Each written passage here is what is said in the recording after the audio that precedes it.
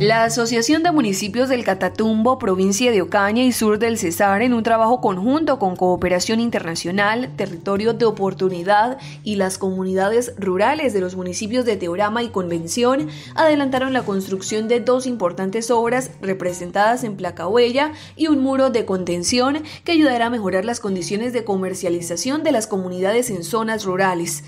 Es importante destacar que la Asociación de Municipios a través de una gestión que se hiciera ante dicho programa y ante las mismas comunidades, eh, fue el operador y el ejecutor de estas obras a través de un modelo eh, donde se privilegia en primer lugar eh, la legalidad y en segundo lugar la participación comunitaria. Para la ejecución de las obras fue fundamental el acompañamiento de las comunidades y las administraciones municipales a través de un modelo donde se privilegia la participación de la población y la legalidad de los materiales de construcción para las estructuras de las obras que garantizan su durabilidad. Para nosotros de gran importancia poder llegar con esta articulación de trabajo en la cual la comunidad se vincula con la mano de obra eh, no calificada y como tal, pues también eh, ayuda a que el recurso rinda y que la inversión, digamos, sea más eh, grande en cuanto a impacto.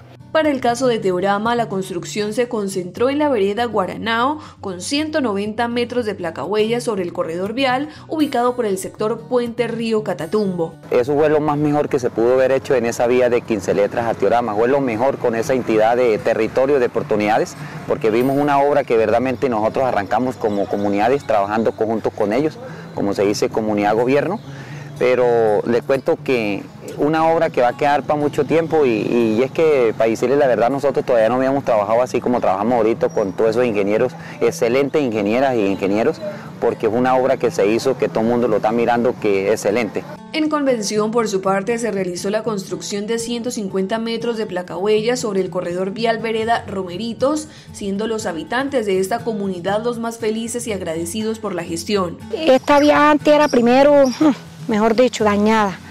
Era este, cuando llueve y los carros no, no, no pueden salir ni nada.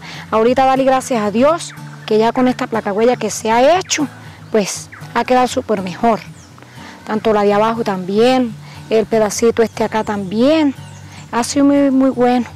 Los recursos invertidos son de cooperación internacional, aportes de la comunidad y las alcaldías municipales, lo que representó un ahorro eficiente del dinero que se vio reflejado en la ampliación de placa huella y el muro de contención. Por el motivo de que ahí estamos haciendo las cosas juntos y como sin diferencia, sino unidos. Y que eso es un propósito de que todas las comunidades y todas las personas que pasan por esas, esas placahuellas que hace la, el gobierno, o sea, la, asociación de municipios, este, sean beneficiadas. Y somos beneficiados todos con ese tipo de, de proyectos.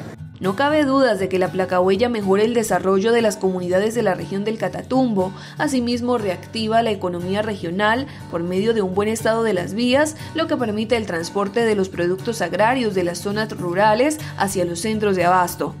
Esto nos ha permitido eh, experimentar esa confianza de poder dar a conocer nuestras necesidades y también poder trabajar en pro del desarrollo de proyectos como el que realizamos. También esto nos ha permitido que nos quede la experiencia para volver a, trabajar en otro proyecto. Estas experiencias exitosas y positivas permiten que la Asociación de Municipios siga gestionando ante el programa Territorio de Oportunidad nuevas iniciativas que ayuden a todas las comunidades de la región del Catatumbo.